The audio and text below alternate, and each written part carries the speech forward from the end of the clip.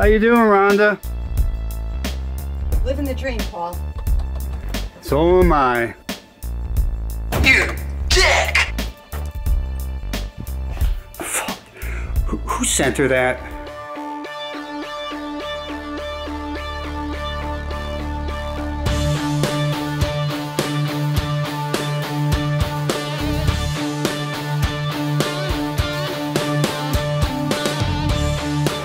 So this transmission came to me because he had a massive leak, couldn't figure out where it was coming from. There was oil everywhere. This is in actually one of these Cobra kit cars. He couldn't figure it out and it's a real bitch to pull out. So in the meantime, he also said, hey, these TKO transmissions shift like crap.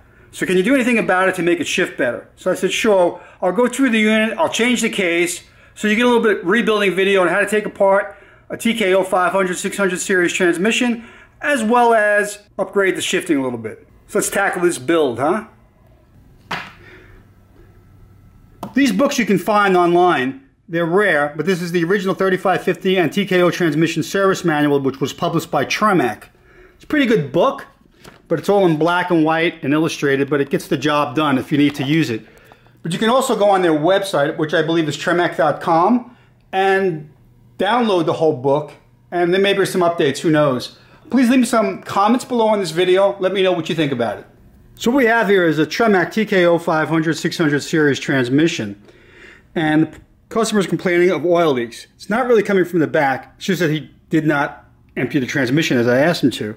Then I looked over here and I saw it was kind of wet, but I figured maybe he drained some out.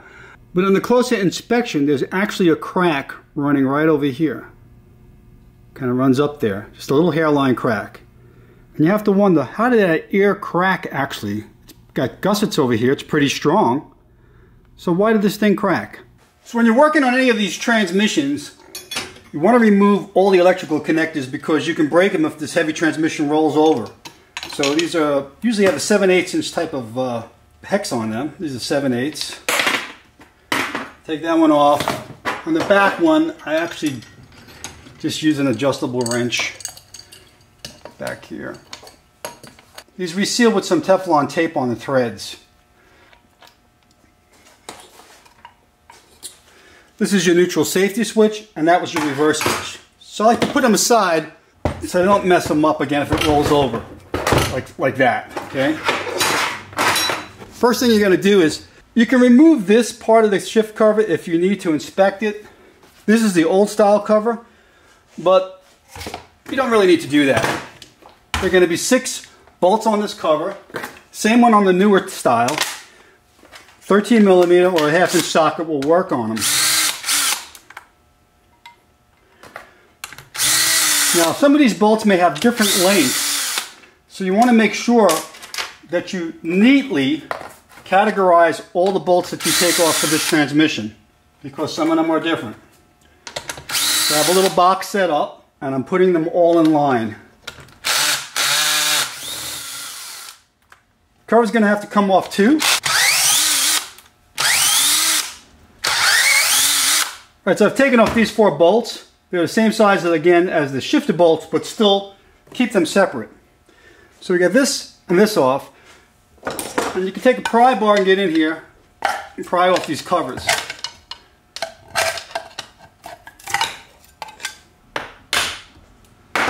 There are no gaskets on this transmission, just sealant. This is the anaerobic gel that I use. That's what they use from the factory on these. So you can leave this offset lever and rail in place. You don't have to take this off because we're going to disconnect these and then you can pull the whole thing out with this in place. So you really don't need to disassemble this rail and this shoe unless it's extremely necessary. This shifter pretty much this is how it works. It's like on a universal joint. It's pretty easy type of shifter. It doesn't seem like it's worn. It doesn't seem like it's loose inside. Doesn't have any play. So this is a good shifter. But again, this is the older style uh, 3550 Tremec shifter, not the newest style TKO 500, 600 shifter. So you're going to have different types of arms here. Fifth and reverse, third and fourth, first and second, okay? And you really should mark them because you can actually put these in upside down. So however you want to do it, if you want to put like R here, you want to put 3, 4, something like that. One, two. Mark them. I use a 3 16 roll pin punch and punch these pins through. And when you punch these pins through, some of them will drop into the transmission because the fifth gear is right below this with a big gaping hole. So now that these are disconnected, I should be able to pull this whole extension housing off with all these rails in place. But I believe, you see how they work. Very simply come off like this, but they're not going to happen until the extension housing is removed, okay? We'll discuss those later as far as how they work. Right, before I can remove the extension housing, I have to take the speedometer fitting out. One of the most ridiculous designs about these TKO or any of these Tremec transmissions is they love putting the speedometer fittings right near the mount so the cable comes right out and hits the mount. And you'd have to make a sharp bend because usually there's going to be a cross member here or something in the way. So uh, again, that's why you have to understand that these transmissions were originally for the truck market because if they had half a brain, they wouldn't design a transmission where the cable comes right out near the mount. It's almost impossible to have a nice clean bend on a cable because of these transmissions, especially when you use this adapter housing. What they've done here is they've used an adapter housing to go to a GM thread. Normally the cable goes right in there with a gear on it for the Ford application, but they have these adapters that go in place and then have the 7 8 typical GM thread on there. So it has to make you wonder, how can they design a transmission that well if they can't make the extension housing clearance properly for a speedometer cable? So somebody put this little Allen screw thing in here. Normally they come with a regular bolt. It's like a quarter 20 bolt. The speedometer driven gear adapter housing is simply a housing that converts the Ford style gear with the clip to a 7 8 thread style that's used on GM applications and a lot of common speedometers. Normally in a Ford application, this gear is actually in a similar fitting, but it's crimped right directly to the cable. So this housing here is an adapter again that converts from the Ford style to the GM style. It's quite common. The problem is when you put this adapter on it, it makes it very difficult to bend the cable because normally the cable starts here now it's going to start over here. And that extra inch where the mount is create a lot of clearance issues. Next step, we're going to take off all these bolts on the extension housing. Lovely amount of sealant on the threads.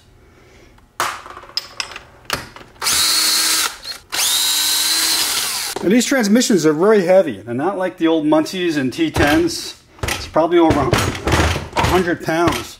It's, it's very hard to maneuver on a bench quite easily, like the other ones. So I've got all my bolts removed, and because this is just glued in place, I should be able to just tap it with a hammer on the side and break the sealant loose. Before you take this cover off, there are going to be O-rings in this area, this area, and this area. A lot of times they'll get cut off when you take it off. So be very careful you try not to cock the cover, move it up and down in any way at all and try to pull it straight back because you, there are O-rings here and you could ruin them. The extension housing has a locating dowel on this side so you really can't move this ext extension housing around that much. But as you start prying it out, you can walk it back, but as you are prying it out, you'll usually be able to remove some of these offset levers, okay? So I'm going to take this one out. I'm going to take this one out. And the other one out. And here are those O-rings I was talking about.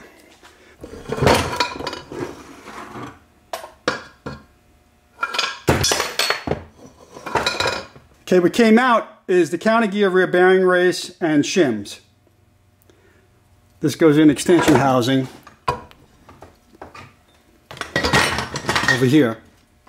I'm retrieving one of the dowels.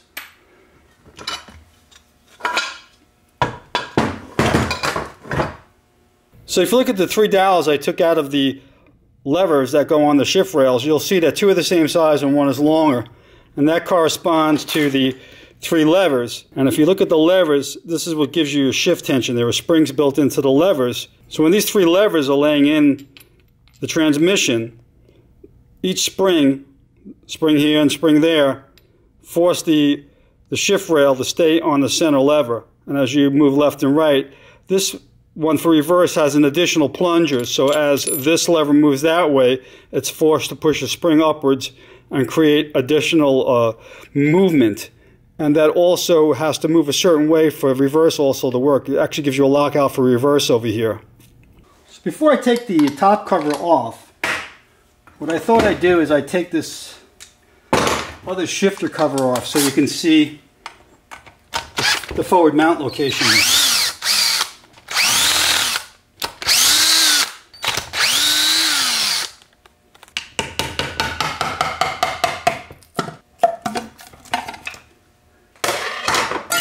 See, these control levers over here control the shift forks.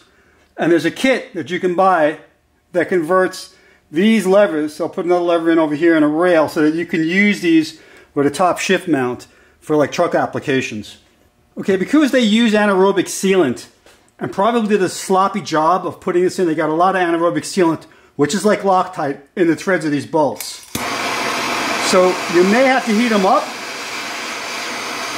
we're going to be changing this case anyway, but the reality of it is, is if you're going to reuse the case, you may want to heat the bolts up to burn out the sealant because you can strip the threads in the case. So what I'm doing is I'm melting the thread locker anaerobic sealant, which again I believe that they probably overdid it and got it inside the threads of the case. This is just too brutal to get off.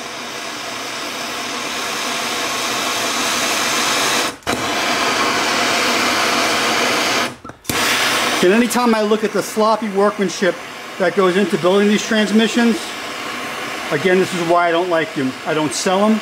I don't sell parts. I don't support them, but I will fix them for people because oddly, a lot of the dealers that sell these transmissions don't do repairs and I get it.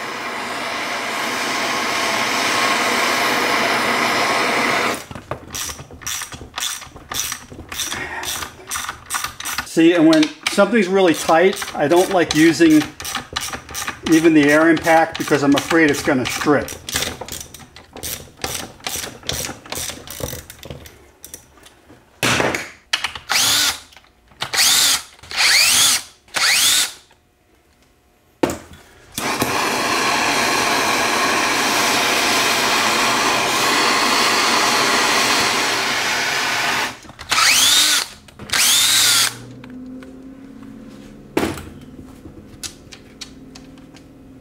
The locating dowel, and this is a locating dowel up here. So again, you want to pry the cover straight up. There's little pry tabs over here. So see, we get in here. They put a pry tab over there, but don't really have anything to pry against, so it's coming off pretty easy.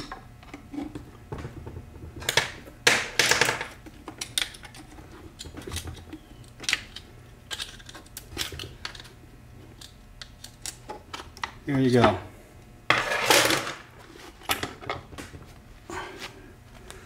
Have a nice looking transmission. Synchronizer rings, all the gears look good. The engagement teeth of the gears look good. Just a question again of pulling everything apart. Maybe seeing how these rings fit on the gears, how they feel on them. I have a video on how synchronizer rings work. It may be a good idea to go check that out. But we'll see if these rings really lock up well when I take this whole piece apart. Now you can remove the four bolts from the input shaft bearing retainer. You can do this in the beginning if you want, but I like to keep the gear train held together until I have the cover off.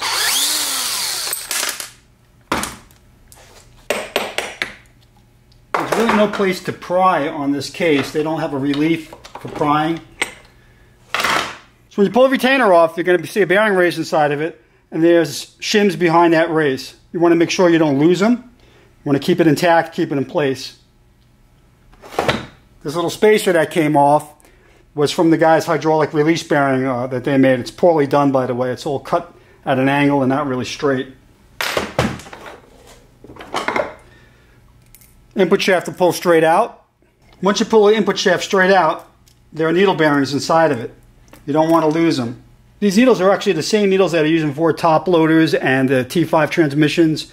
It's Torrington number C417Q. There's 17 of these needles inside that input shaft. We're going to start working on the back end.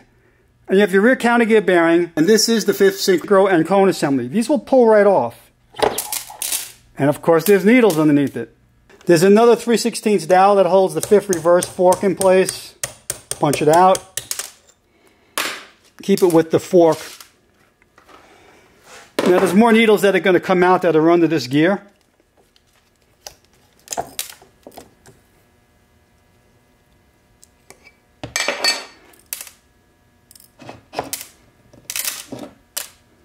All right, there's two rows in them. There's a spacer here that obviously kind of comes down like this. This spacer goes in between both row, rows. So when you take it out, the needles are going to fall out, the spacer is going to drop down, and you just don't pile the needles against one another. Row needles goes on the gear, spacer goes on, and another row of needles goes on the gear. I'm going to bag these needles up. These needles, by the way, look identical to the same needle bearings used in Super T10s and Muncie's 4-speeds. Uh, I believe these are of Torrington number C407Q is the number of these bearings. Case you run out of them, you may have some laying around your shop for another application, but that's why I'm very careful to bag everything like this that's loose. I'm going to bag them also with their shim, so they're all together. Make sure there's no other needles anywhere else. And that's good. And I might as well throw that dowel in with these needles since I know it's going to be for that fork in the back end. Just bag it. Now while we're at it, this fifth speed assembly, the hub is actually part of the fifth gear. Okay, There's no need to take this off. We're just changing the case. But if you had to take it off, it's like any synchronizer assembly. It comes out, keys and springs will pop off, and that'll be it. If you want to take them off, also make a note of that the shallow edge of the hub, of the synchro hub, goes against the fifth gear. It actually fits into a recess of the gear. If you flip it around the wrong way, it's not going to work properly. If you need to mark the outside, mark the outside if you're going to take it apart. That's what's great about having these nice little paint marker pens. Just mark the outside with a little dot so you know that that's the outside. That's simple. Next step is to remove the fifth gear thrust washer. Now there's a little anti-rotation ball over there. Make sure you get a magnet and take it out. You don't want to lose that. I always like to remove speedometer gears, even though you can pull the main shaft out with the speedometer gear on it, because I don't want to damage the gear. It's plastic. So you got a retaining ring and probably underneath there is going to be a, a bearing of some sort.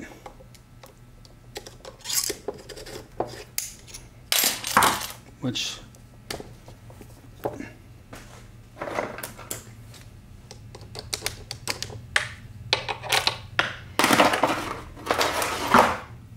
so over here there's a another bearing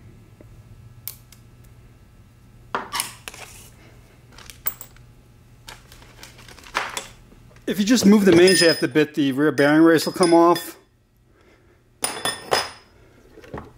Now on the front over here is the fourth gear synchronizer assembly and the thrust bearing races. And you don't want to lose that. And it really should be put into the main shaft when you, you, you know, put it back together again. So you just kind of hold it like this in place and then pull the whole assembly up. It's a little heavy, so be careful you don't drop it on your fingers, okay? But you can lift this up and then kind of pull this out, okay? Like this, if you need to get this out of the way, take some of the load off.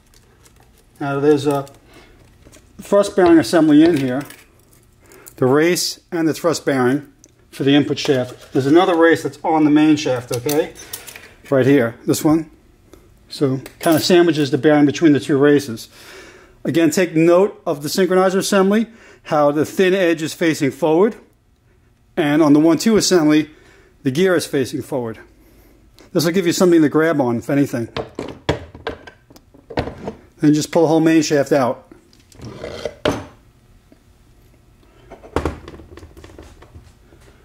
Normally you don't have to take out the reverse section and the counter gear, and any of the bearings if you're going to just do a synchronizer ring change.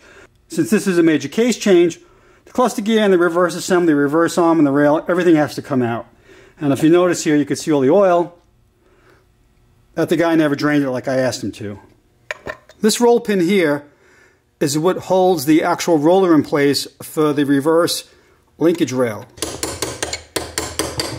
Once the pin is punched through, you could rotate this rail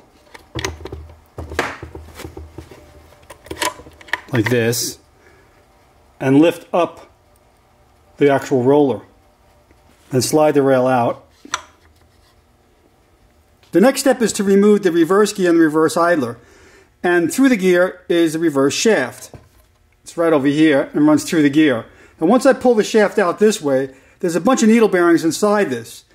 And if you pull it out gently, you can actually pull this out with the needles in place. If you hold your fingers on it like this, and then hopefully put the shaft back through it so we won't have to pack the needles. Let me see if I can do that. Here goes nothing. Gonna push the shaft out. Get in there with a punch. There's a roll pin at the end of the shaft.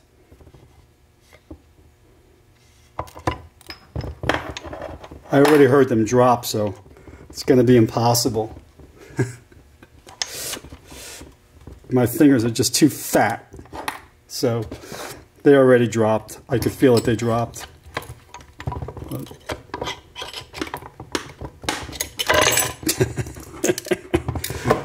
there they go. All the needles are out anyway.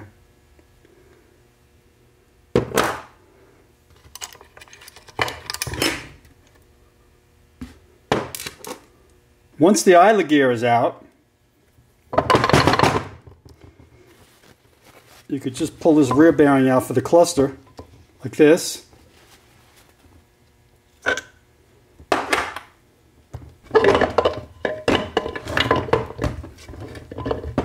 This is one heavy piece, man.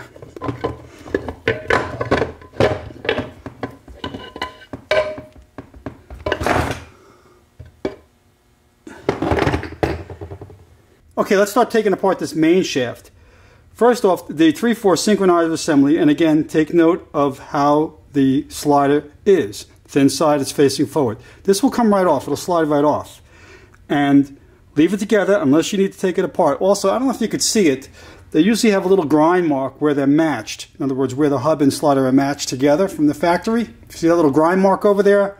So if you do take them apart, always put it together the same way with the little marks matching one another. You can slide off the third gear. Now, this is an early box. It actually has a spacer here. Some later boxes actually had a snap ring. So there's going to be a spacer here and the three, third gear needle bearing. Very simple. What they do is they put a ring around a split washer. Then they put a rotation, an anti-rotation ball around the ring. So you have the split ring.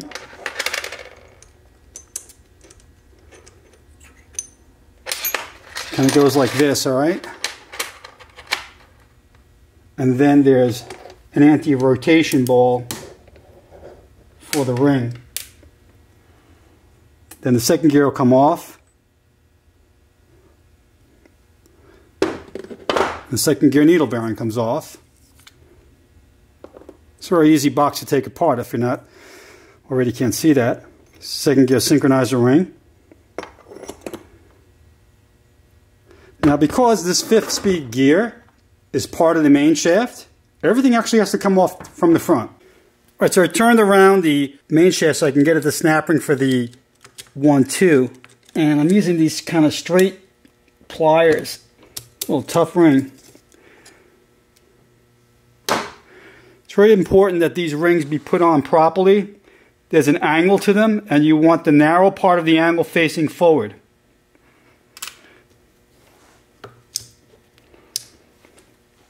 The 1-2 assembly will slide off.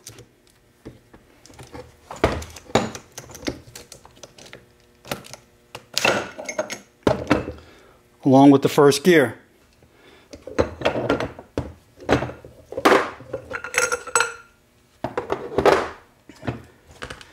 And this is snap ring for the first gear bearing. And they've got this snap ring backwards, so it's a little bit problematic to get to because they put it through the wrong way.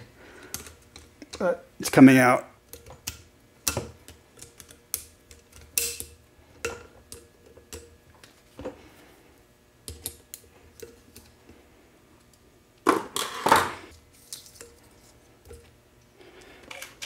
I'm going to bag these two items separately. Now we have the same thing over here. We have a thrust washer with a spacer ring around it for the rear bearing. Okay. It's one of those split washers again. That split washer is going to have a rotation, an anti-rotation ball as well.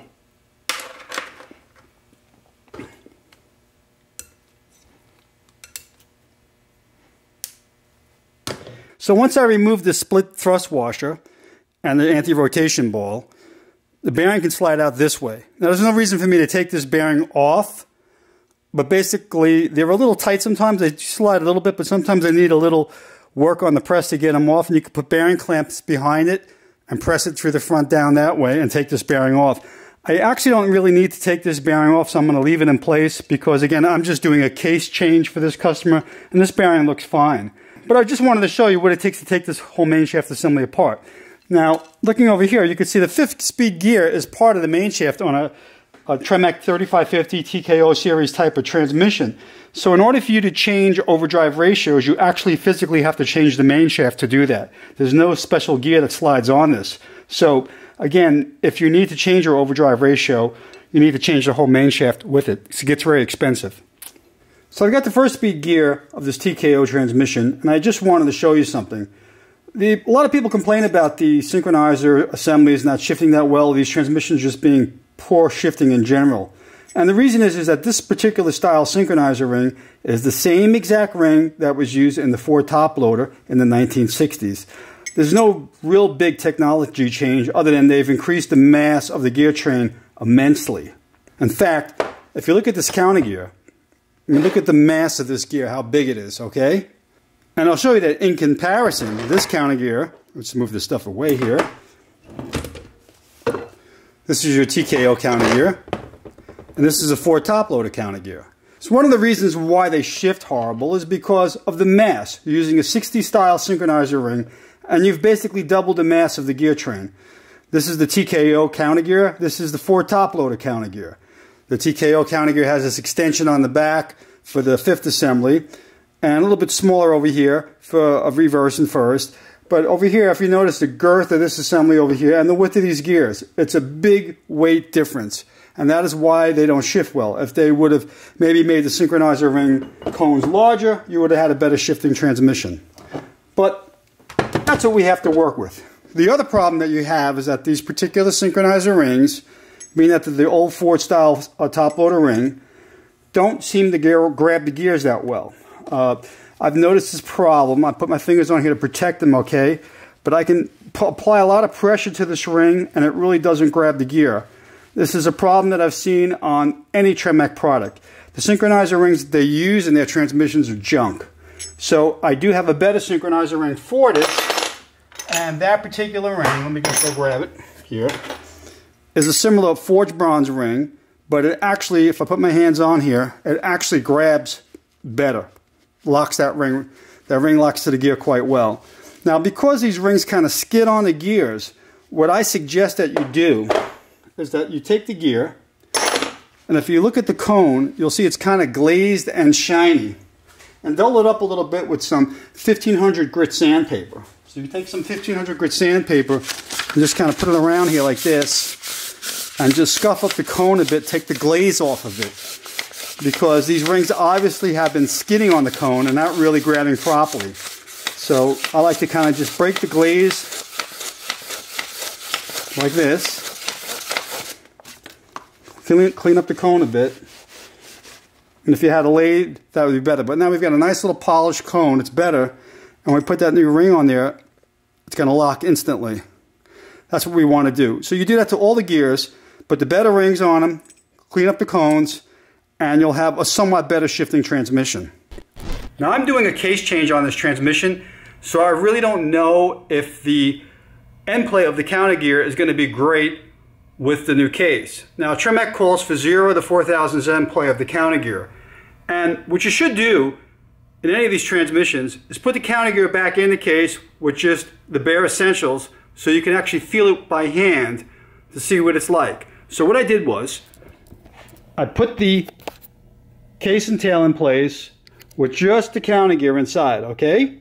And I put inside, I don't know if you can see in the back here, the fifth gear uh, roller sleeve and assembly is in there. So I've got this counter gear in here and you can actually spin it by hand and I can actually feel that it's got no end play. Not at all. It spins really nice. Usually actually in performance boxes, I like to actually preload these a little bit because with new bearings, they may seat in. So I may actually go 2000s preload. But this spins good, no end play. So what I want to do now is I want to duplicate this movement with the new case. Okay, so I got a brand new case for this job. Pretty nice. Here's the part number from Tremec. It's a Tremec 260 6106 transmission case assembly, okay? What that means is the assembly comes with the dowel and with this cup and O-ring already in it. But what I like to do is I like to put sealant in this hole and then press the cup and O-ring in place. I don't like just doing an O-ring seal. You never know, this case could stretch at use and then the O-ring seal could leak. So I like to put an additional anaerobic sealant in this hole and press it back in.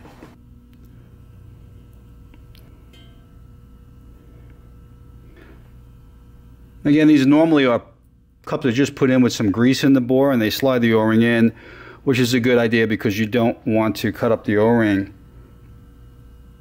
But the sealant kind of acts like a little bit of a lubricant and we want to put it on both surfaces. Hopefully we'll get this in nice and easy without any issues and tap it in place. The trick is not to cock it and cut the O-ring up. I do this on the T55 speeds as well, but since this is going into a car that's extremely difficult to get the transmission out, I don't want to have problems.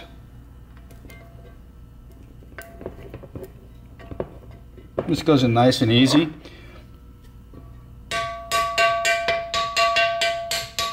I'm tapping it gently in the back, not hard at all.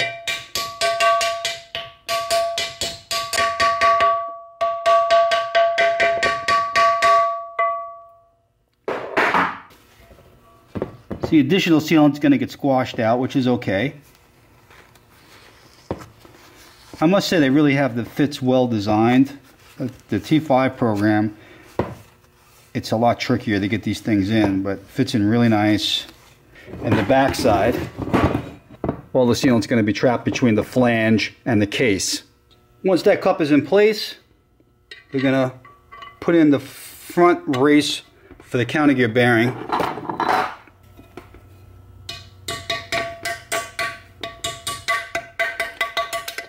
Now what I'm going to do is I'm going to check this out like I did on the last one and put the extension housing back in in the cluster just to see how the float feels. So I'm going to drop in the rear counter gear bearing.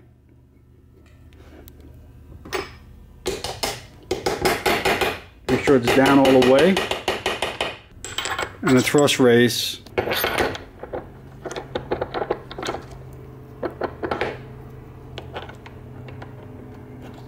And just those necessary components to check the end play.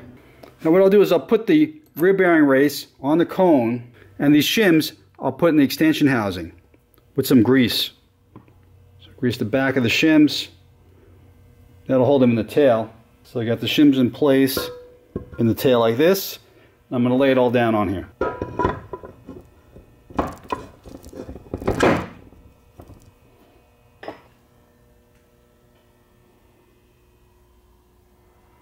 Cluster feels good. No end play. Actually, it's got a little bit more drag than the old one, which is what I like. Just by feel, it's probably not much. I would say it's probably like two inch pounds more drag, which is perfect. So this unit's going to set up really good. That's what the old shims. Goes to show you that the cases are very accurate from case to case. Amazing. Pretty good. You can use this anaerobic gel on the pivot It'll act as a thread locker and do a pretty good job of holding it in place. So pretty much you can screw this in by hand until the bottom's out. I've got the anaerobic gel on it, and because of the size of this bolt, and the, I'm going to torque it down to 45 foot-pounds. So the counter gear goes back in next.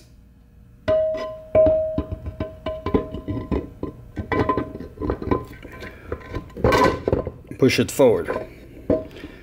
Now the best thing to do is flip this case around on its face. You can see that it spins nice and smooth. And then put in the rear bearing for the counter gear. Alright, so I pre-assembled the reverse idler and reverse gear assembly. Just want to show you how it goes together, okay? You got a thrust washer on either side of this, alright? And you can see how it just works that when you're going reverse, this pushes forward and locks in. There are pointy teeth on this gear and they have to match the pointy splines on the slider. If you put it on backwards, it won't work. Now hopefully I'm going to pull this apart without taking out the, the bearings again but you have here a short spacer on this side and the long needles inside this okay and a long spacer on this side. And then there's this thrust ring or another thrust washer that floats in between the two gears. So short spacer long needles long spacer thrust bearing. That goes inside the short needles, there's two rows of them. Notice that this has got the pointy teeth on this edge, the other side doesn't. So it just stays engaged with this.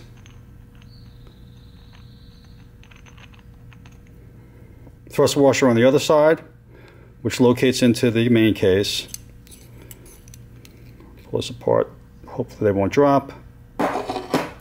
Inside there, there's two rows of needles so a spacer, row needles, a spacer, row needles, and then it goes against this large spacer down here.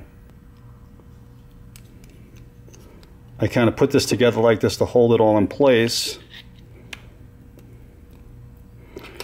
And let's see how we drop this in the case now without dropping the needles out.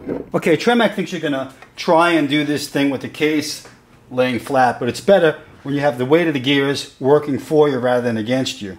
So I'm to put that thrust washer in for reverse over here. Catches in the case perfectly. And I'm going to drop this whole assembly down this way. It's a lot easier than doing it the way that they say it is, okay?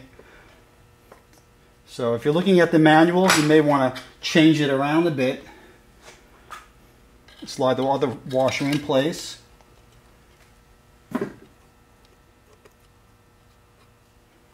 And then drop the reverse idler shaft down into the whole assembly carefully.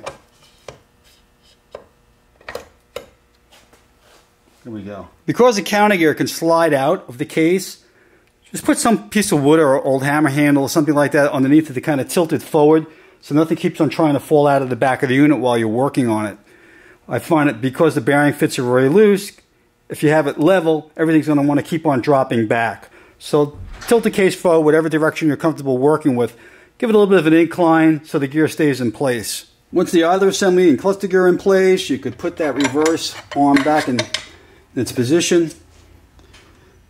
You can put it in there beforehand, but this gives you a little extra working room when you want to try to put in that idler gear. Okay.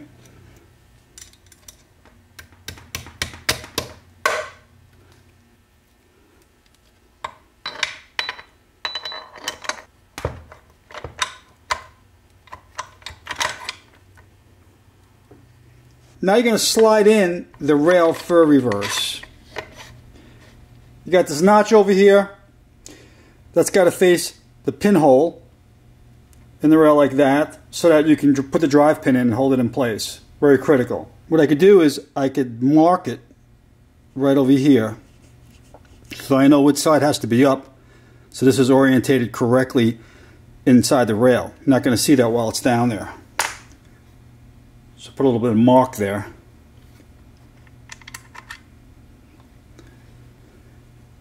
And then you're going to do is catch it in this, like this. Make sure it's kind of straight.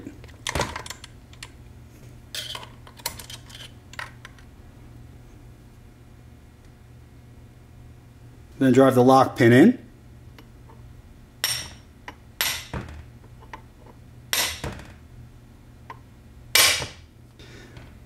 You can check how it works. Pretty simple. Right, to get the input shaft assembled, you're going to have to put the 17 needle bearings back in the input. And I do that with some of the trans gel assembly lube I have. And you just kind of put them in like this. Usually the last one you have to slide in. No need to count them because you can only fit in as many as you can fit in. It's that simple. But use a lot of this stuff. I'm in Florida and it's a little bit hot in the shop. So I tend to use assembly lube because it's not that temperature dependent as say wheel bearing grease. A lot of the wheel bearing grease that you can use, I mean you could use it, but what may happen is it may start to melt, especially if your shop gets hot. But uh, tends not to get too hot in most people's shops, but in Florida, you have a hot day, it can uh, melt the grease. So as you can see, it's falling down. You have to really pack that stuff in there. Get it all in. Once it's all in, pretty much, it's not going to fall down anymore. So the last one, you really can't just push it. You got to kind of slide it in like this. You see, you got to push it in lengthwise like that.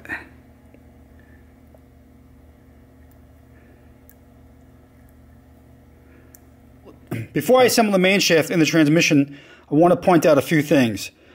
These thrust washers are two different sizes. The larger diameter one fits inside the synchronizer cone for the input shaft. The smaller diameter one, which I'm going to grease up, fits on the 3-4 synchro hub. The bearing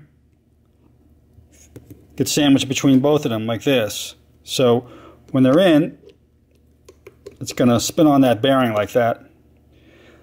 Then you can put this whole assembly now in the case. So now that I got that fourth gear synchronizer cone on the end of the main shaft with the thrust washer, I could put the whole gear train in the case. I'm going to try to go into the camera so you can see what I'm doing.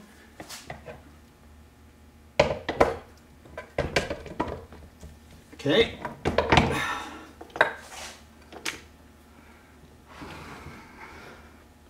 Then you want to put the rear bearing race in place.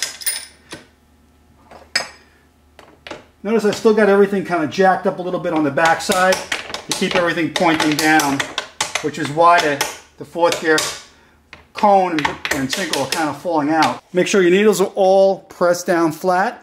Okay, so I got the gear train in, fourth gear synchronizer cone, thrust washers there. You can see that it's working really good.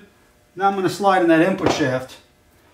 Hopefully I can get these needle bearings to stay in place properly and get a direct clean shot in. Here we go. Probably the hardest part of this whole transmission is loading the needle bearings in the fifth speed gear. All right, so what I've done is I've held in place a whole row of needle bearings with some grease and uh, there's a spacer that goes in the back over here. It's going to go in over here like this in the inside and you can see the needles.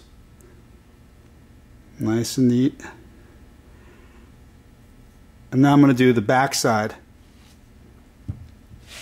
Put another row there in the inside.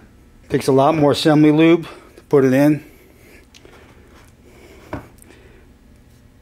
Because you got to make the needle stick. It's a hot day today. As I mentioned before, uh, sometimes uh, you can use regular wheel bearing grease I use this assembly lube because it tends to maintain its tack better through a wide range of temperature differences, especially in your shop. Like me, I'm in a high climate. If I were to use like a heavy duty wheel bearing grease, it probably would start melting. This stuff uh, maintains its tack better. And even then, it's still a little tricky. So the object here is that we're going to put all these needles in and slide the whole sleeve for fifth gear through here with the synchronizer ring. We're going to mount the thrust washer on the counter shaft. And we're going to put the fork on this whole assembly and try to catch everything in one piece onto the fifth reverse rail. That's the idea. Hopefully we can get everything in here without the needles falling out and making a mess. Okay, so I got all my needles in here now. The spacer's in the middle. Looks good. Just making sure they're all pressed into place.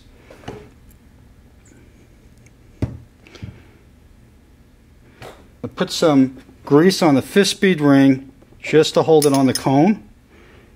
And then try to gently catch everything without making a mess.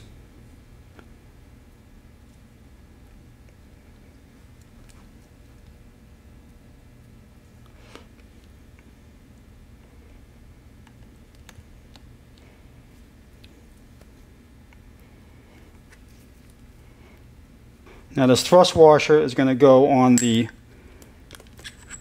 countershaft. Notice that it has a step in it. The short side faces the bearing and the wide side faces the gear and you can see where it actually retains the needles. Very important. So you got to put some grease here for the anti-rotation ball. Put it in place with my finger. Slide that thrust washer in, short side facing the bearing. Make sure it catches that ball.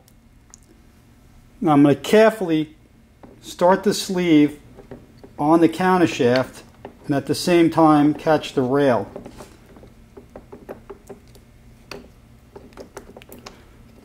Try to walk everything in and I'm actually looking in the back over here to see that the needles don't come out at all. Okay?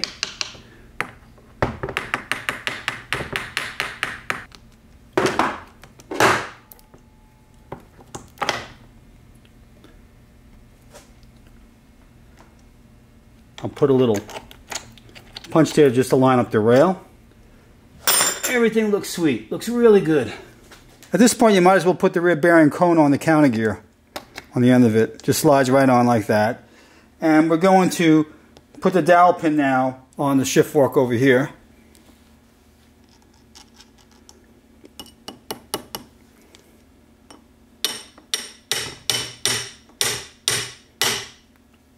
Some grease to hold the anti-rotation ball in place for the speedometer gear. Slide the speedometer gear on with the slot facing forward so it catches the ball.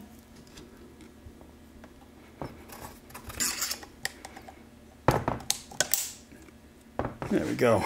Let's take a quick look at the top cover of this transmission. I'm not going to take apart this top cover. I will probably do another video in disassembling and reassembling the TKO 500, 600, or the Tremec 3550 top covers.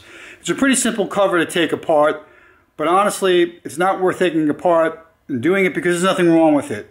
Usually these covers never really have a problem. Sometimes shift forks do break and you have to change the fork, which is a question of just popping out the rail and changing the shift fork. But let me show you a few things about the cover anyway. So you have three rails in the cover. One, two rail, three, four rail, fifth and reverse rail. Each fork is fastened with a simple roll pin. Here's the roll pin for the 1-2 fork. The roll pin for the 3-4 fork is buried right over here. And the roll pin for the fifth reverse fork is over here. This little gadget over here with the two bolts holds the springs and balls for the detents.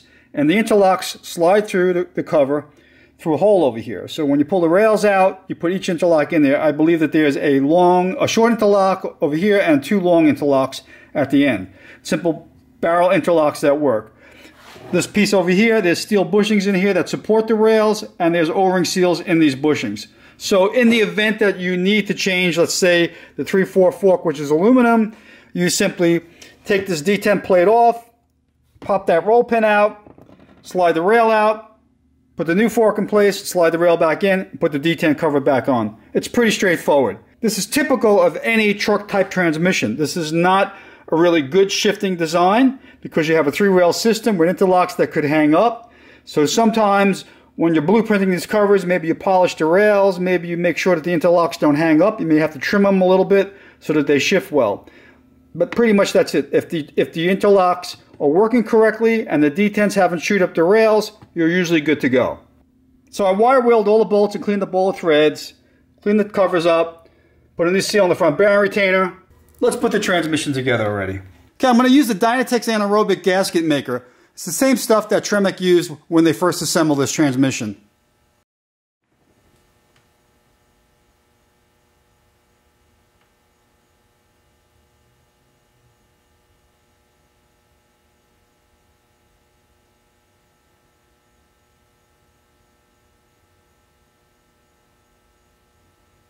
And I see a little bit of the sealant goes into the threads, so it kind of automatically acts like a thread locker.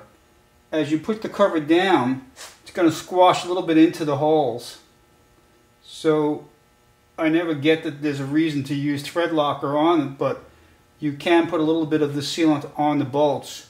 And what's great about taking off the top cover of the main cover is you can actually see what's going on. I can drop it down and see if I'm actually catching everything perfectly.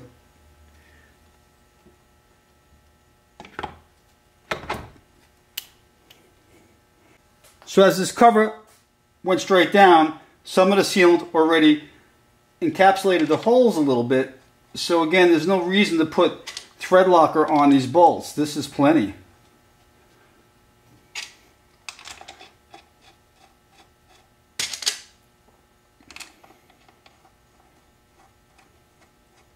The torque spec for these bolts, according to Tremec's books, are 18 to 22 foot-pounds. Kind of think 18 is where I'd rather be.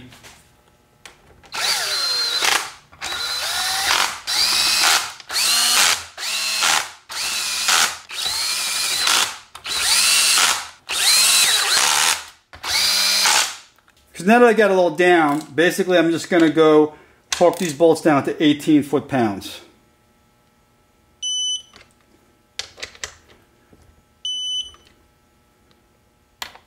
do it all around here.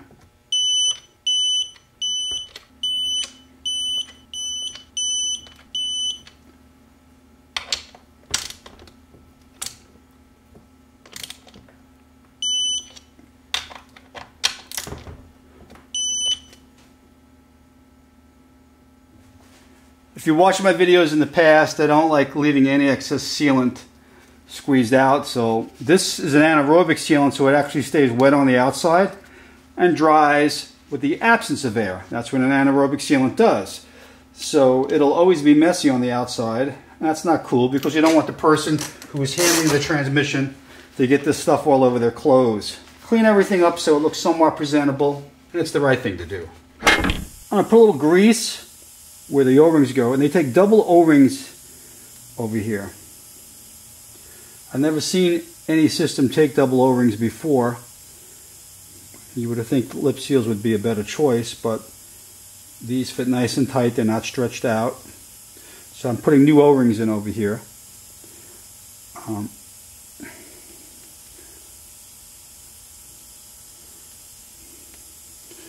I think I need smaller fingers. What do you think, guys?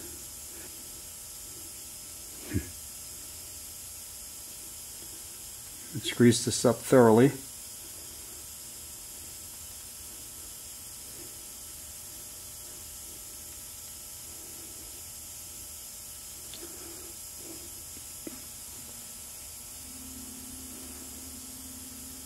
Make sure the O-rings don't overlap one another, that you actually have a true double O-ring seal. Now that this is done, I'm going to put the extension housing on. I've already put a new seal in the extension housing. I don't think I need to show you how to do that. Uh, I have other videos that show you how to clean parts and uh, put seals and things, and I don't think that's really necessary. Watch some of my other videos.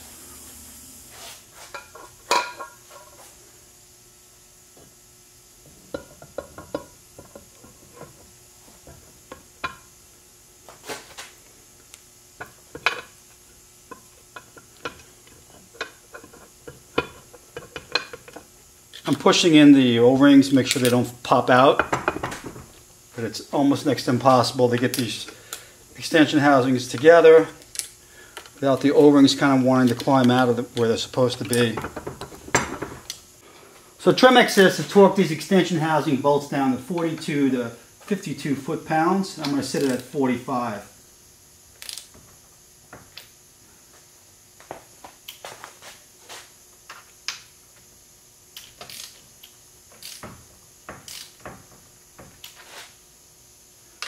Just gradually bringing these bolts down a little bit.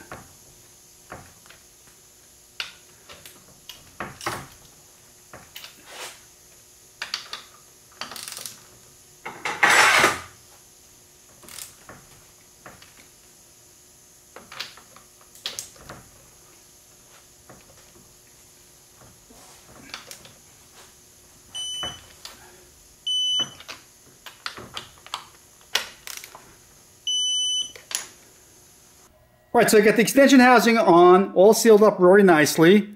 And you can see I've got all three shift rails exposed and the main rail floating around over here. In order to make it easier for me to put the three fingers in place, I'm going to take a piece of paper towel, stuff it in here, so that I can kind of keep the rail somewhat centralized in this position like this, okay?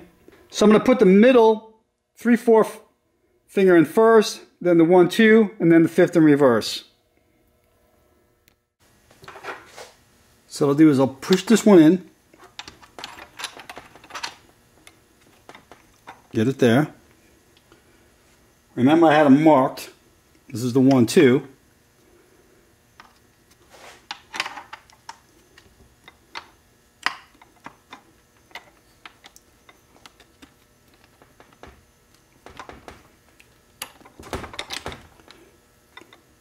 That one's in place. Now I'm going to do the fifth in reverse.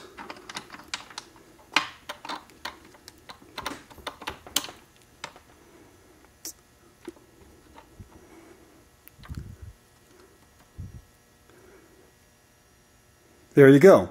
Now I'm going to just put the three dowel pins back in.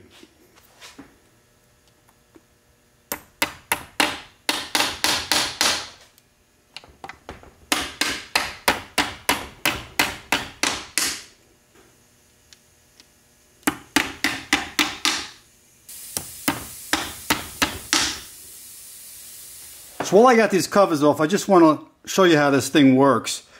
You have your bias springs inside these arms. So when you move the lever one way or the other way, that's what gives you your neutral feel. Each one of these will push the center rail back into the neutral position. This little gadget over here is your reverse lockout. Basically, when you go into reverse and you go this way and engage reverse, which I'm going to do for you, you'll see that this plunger arm is against this little tab here. Okay, but if I go into fifth, which is here, and back down, back down, you'll see that the arm returns. Now, in order for this to come forward, it's a safety mechanism because it's going to block out against this arm, so you can't go from fifth directly into reverse. You'll have to go here, you'll see, and it brings it back up into the neutral position. So this little tab here is very important. It's a safety feature so you can't go from fifth and accidentally go back into reverse. That's simply how the mechanism works for the shifter. This is typical again of a truck shifter arrangement. It works fairly well, but it's kind of bulky because when you're trying to power shift with a single rail like this going between all these gates, sometimes they're going to hang, they're not going to move as fast and react as they should. That's why, again, they don't shift as well as a single rail system like in a T5 or a T56. Because the cluster gear is set up very nicely, I'm pretty confident that the input shaft is going to shim perfect as well. So I'm going to just drop in the old shims and the bearing race. These bearings are, were like brand new, by the way. And tap this in.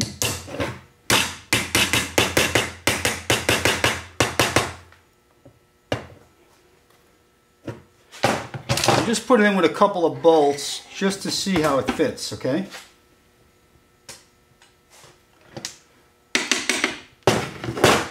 It feels really good so far.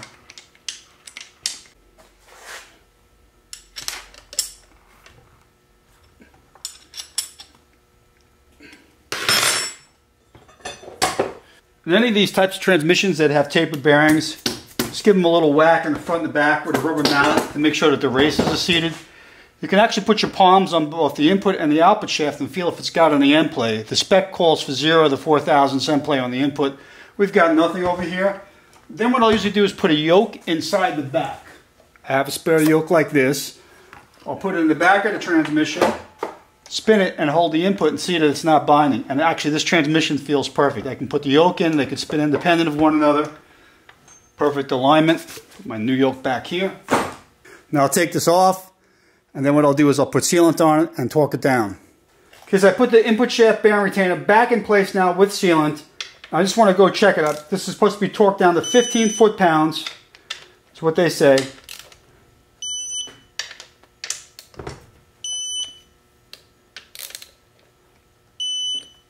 Feels great. Feels great. So I got this whole transmission all together, other than just putting the shifter back in place and all the remote shifter covers over here.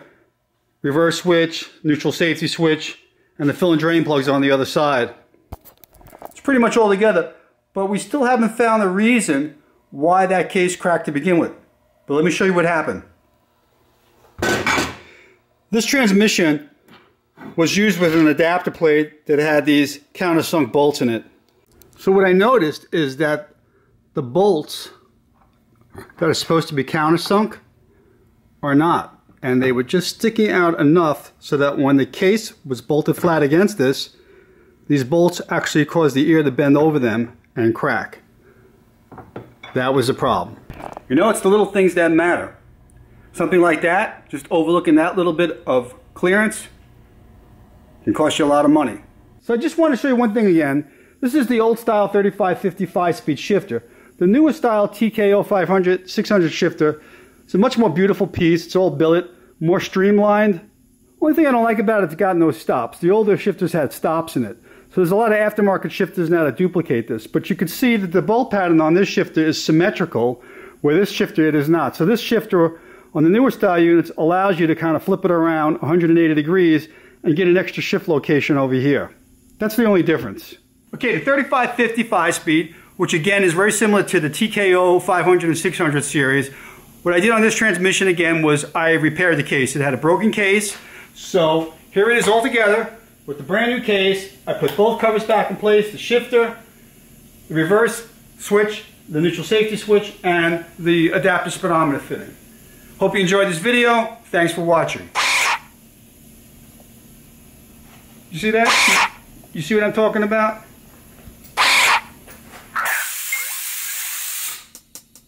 Got it.